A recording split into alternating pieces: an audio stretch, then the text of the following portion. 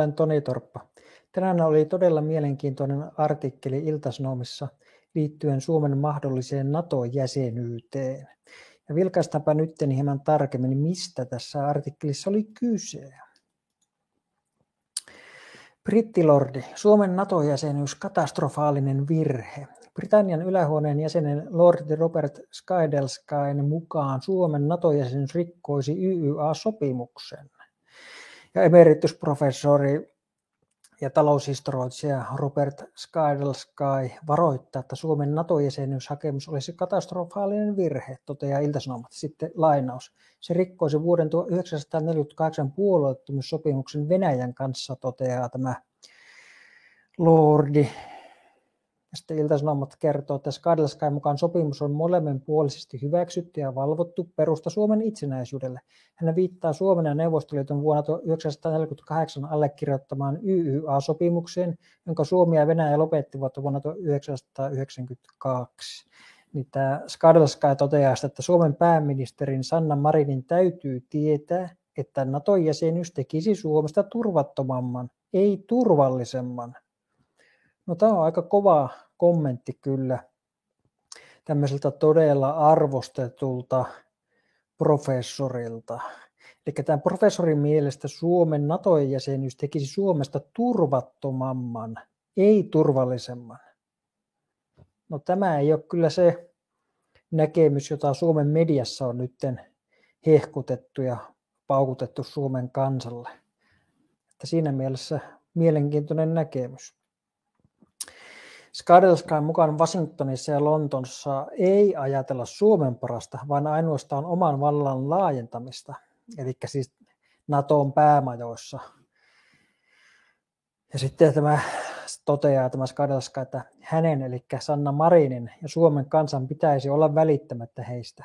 Eli kenestä? No noista Naton herroista, jotka Washingtonissa ja Lontoossa niin istuvat.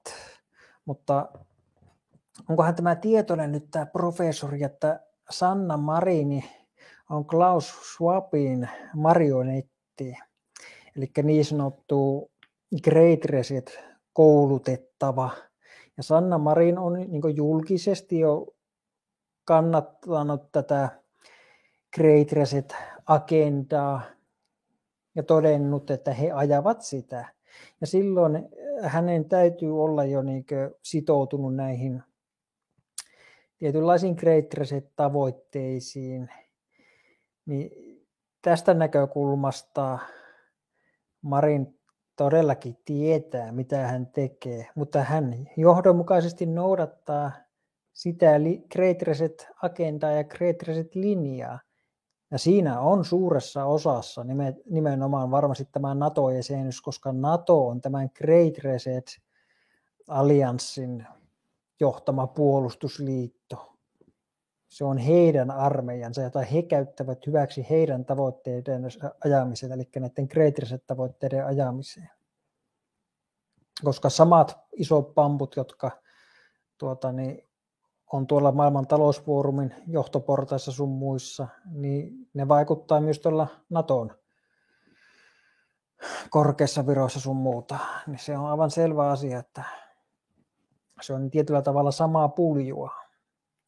No sitten Suomen entinen pääministeri, professori Alexander Stuppi vastasi tälle Skydelskaille viisikohtaisella twiitillä. No vilkaistaanpa mitä Aleksanteri twiittasi.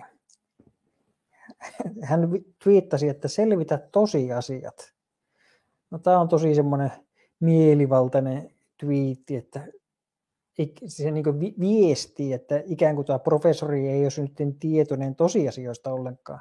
Sitten Stuppi ei tietenkään mitenkään tarkenna sitä, että hän voi aina sanoa, että jos joku sanoo, että no kyllähän tuo Skadilska ties tuonkin, tuonkin ja tuonkin asian, se on ottanut selvää hyvinkin paljon noista asioista. No, Stuppi voi sitten sanoa, no en mä sitä tarkoittanut. No mitä sä tarkoitat? No kuka tietää, mitä hän tarkoittaa. Hän vaan mielivaltaisesti totesta, selvitä tosiasiat. Älä luennoi meille turvallisuudestamme. No miksi ihmeessä ei saisi niin kuin varoittaa tuommoinen niin professori taloushistorioitsija, niin miksi hän ei saisi varoittaa, jos hän näkee tuossa niin vaaran. Ja sitten kumminkin niin nämä meidänkin johtajat, niin ne istuu kaiken maailman niin luennoilla kuuntelemassa kaiken maailman asiantuntijat, että miten olisi hyvä toimia. Niin miksi sitten joku tämmöinen toinen professori ei saisi luennoida omaa näkemystään? Totta kai saa. Tuo on niin aivan älytön kommentti tuo täällä luennoi meille turvallisuudesta. Totta kai pitää kuunnella kaikenlaisia näkökulmia ja sitten niistä pitää rationaalisesti pohtia, että mikä näistä kaikista vaihtoehdoista, kun on kuultu erilaiset näkökulmat, mikä niistä on meille paras. Mutta jos niin suljetaan korvat, ettei kuunnella vaan jotakin semmoista, joka ei kannata NATOa, ja esittää NATO vaikka huonossa valossa, että me ei kuunnella ollenkaan semmoisia mielipiteitä, niin sittenhän se meidän näkökulma niin kaventuu vain yhteen tiettyyn kapeaan, eikä me, jos me suljetaan kaikki kritiikki pois siltä, siltä tuota, niin meidän näkökannalta, niin me ei voi olla ikinä sitten varma siitä, että kuinka johdonmukainen ja kestävä ja hyvä se oikeasti oli verrattuna muihin vaihtoehtoihin. Että tuo Stupin kommentti on kyllä aivan lapsellinen kommentti. Ja sitten kolme, olemme selvinneet 1340 kilometrin rajasta Venäjän kanssa. Niin, ilman NATOa. Tämä ei palvele ollenkaan tämä kommentti kyllä nyt Stupin näkökulmaa, vaan päinvastoin tämähän niin se, että Suomi on selvinnyt ilman NATOa, niin nimenomaan on niin todistusaineistoa sen edestä, että NATOon ei kannattaisi mennä. Että sinne liittyminen ei välttämättä enää sitten johdakaan siihen selviämiseen tuommoisen rajan kanssa. Että kannattaisi ottaa huomioon niin tämmöisiäkin asioita tiedämme, mitä olemme tekemässä, mutta sehän on nimenomaan kritiikin kohtana nyt tuo, että onko se, mitä te luulette tietävänne, niin oikein. Ja luuleeko tuo Stup todellakin, että tuo Skadelska ajattelee, että nämä Suomen päättäjät, että ne myöntäisi julkisesti, että me ei tiedä yhtään, mitä me tehdään. Että ei meillä hajuakaan, me vaan toimitaan näin. Totta kai se ymmärtää, että te tiedätte, mitä te olette tekemässä, mutta kritiikki on siinä, että hänen mielestään se, mitä te olette tietävinä ja tiedätte, että se ei ole oikea linja. Pitäisi vaihtaa linja. Liittyminen NATO on parempi vaihto kuin ulkopuolelle jääminen, jos haluaa maksimoida turvallisuuden vaikutusvallan. No Stup tässä vaan niin mielivaltaisesti olettaa just sen, mikä on kritiikin, niin kritiikin kohteena. Eli olettaa, että se on tuo nyt se turvallisia paras vaihtoehto, mutta ilmeisesti kaikki asiantuntijat ei ole samaa mieltä nyt Stupin kanssa. No siitähän Stup ei pidä. Se ei ole mukavaa kuunneltavaa Stupin mielestä ja siksi se sanoo, että täällä luennoi meille turvallisuudesta. Ei meille saa kertoa ikäviä asioita Natosta. No joo, raamatun mukaan sitten kerrotaan viimeisistä päivistä näin, että mutta tiedä se, että viimeisinä päivinä on tuleva, tuleva vaikeita aikoja, sillä ihmiset ovat silloin itse rakkaita, rahanahneita, kerskailijoita, ylpeitä, herjaajia, vanhemmilleen tottelemattomia, kiittämättömiä, epähurskata, rakkaudettomia, epäsopuisia, panettilijoita, hillittömiä, raakoja, hyvän vihamiehiä, pettureita, väkivaltaisia, pöyhkeitä, hekumaa enemmän kuin Jumalaa rakastavia. Heissä on jumalisuuden ulkokuori, mutta he kieltävät sen voiman ensimmäisessä Timoteus-kirjassa. No joo, aika lailla voitaisiin niin nähdä, että isossa kuvassa ton suuntaiseen niin ollaan suurella vauhdilla menossa nyt, varsinkin sen seurauksena, kun meidän yhteiskunta on niin pitkälle nyt maallistunut. Ja tämä maallistuminen on tapahtunut todella niin nopeassa vaiheessa – että esimerkiksi silloin kun mun vanhemmat ollut nuoria ja ollut tuo kansakouluaika niin sanotusti, niin silloin Suomessakin on niin isossa kuvassa paljon enemmän uskottu niin kristinuskon mukaisesti ja sitten nekin ihmiset, jotka ei ole niin ollut kristittyjä, niin ne on kumminkin suurelta osin kunnioittanut kristillisiä arvoja. Ja näihin kristillisiin arvoihin tietyllä tavalla kuuluu semmoinen – tietynlainen nöyryys ja että otetaan huomioon sellaiset tosiasiat, että, että tuota, naapurin kanssa tulee pitää, yrittää pitää hyvät välit, vaikka se naapuri nyt olisikin semmoinen tietyllä tavalla vähän ikävä ja me ei jaattaisi hänen kanssaan kaikki, kaikkia niitä arvoja, mitä se naapuri, mutta tietyllä tavalla kristillisen näkökulma on aina kuulunut semmoinen, että, että pitää niin etsiä semmoista sopua ja yhteisymmärrystä ja olla valmis luopuun tietyllä tavalla vähän niin semmoisista omistakin näkemyksistä sen sovun säilyttämiseksi ja niin edelleen. Mutta sitten nyt tämä kristillinen arvomaailma ja näkemys on niin kuihtunut tämän maallistumisen myötä meidän yhteiskunnassa ja meidän yhteiskunnan niin jäsenten maailman katsomus on isossa kuvassa tullut tämmöiseksi humanistiseksi, jossa nähdään, että ihminen on semmoinen niin autonominen, semmoinen itsemääräytyvä, itsevaltias, joka ei usko Jumalaa, vaan joka on tietyllä tavalla semmoinen Jumala itsellensä, niin tässä valossa ihmisistä tulee semmoisia koko ajan suuremmassa määrin, että ei meitä saa komeinnella ja ei me hyväksytä sitä, että jos joku tuommoinen meitä isompi on tuommoista mieltä tuossa naapurissa ja jos on varsinkin jotakin tuommoista vanha-aikaista mieltä, me ollaan niin nyt tämmöisiä uudistuneita ja edistyneitä ja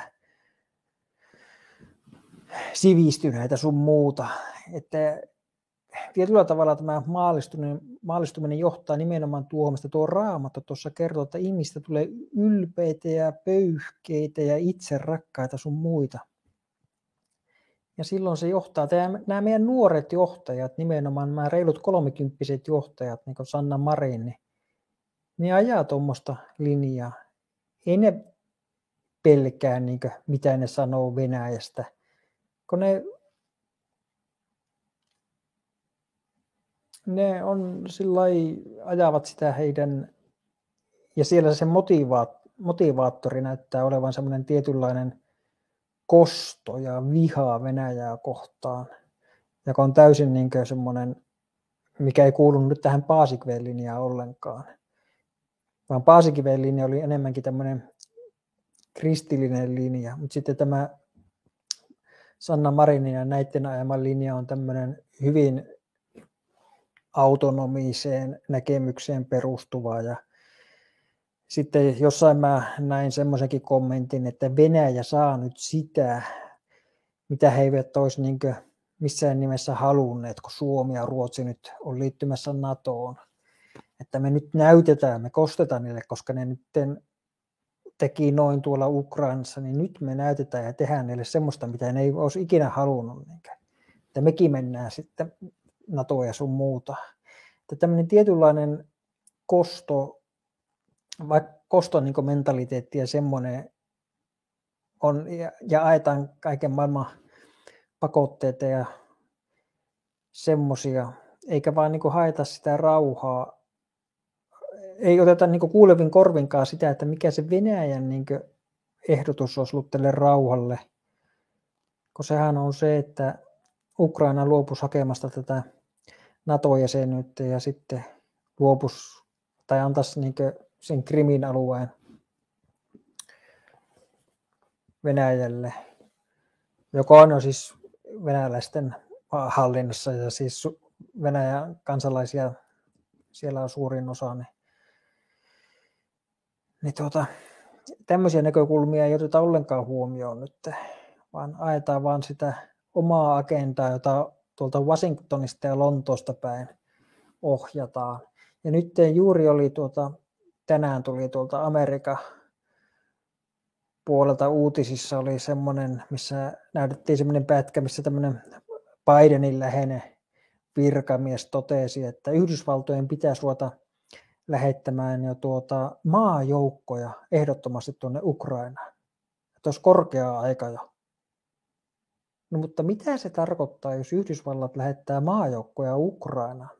No se tarkoittaa sitä, että Yhdysvallat ajatuu sitten niin suoraan konfliktiin Venäjän kanssa ja sitten, sitten se taas tarkoittaa sitä, että se vetää automaattisesti Natonkin suoraan konfliktiin Venäjän kanssa.